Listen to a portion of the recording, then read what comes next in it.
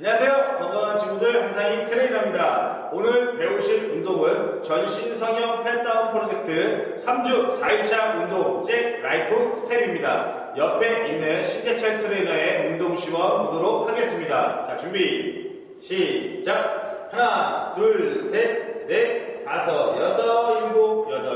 자, 보이시는 바와 같이 앞, 뒤로 두 번, 그리고 좌우로 두 번씩 자, 진행해 주시면 됩니다. 근데 이때 주의해야 될 점은요. 자, 점프 운동을 할 때는 항상 사뿐하고 소리가 나지 않게 착지를 해 주셔야 합니다. 자, 운동 효과는요.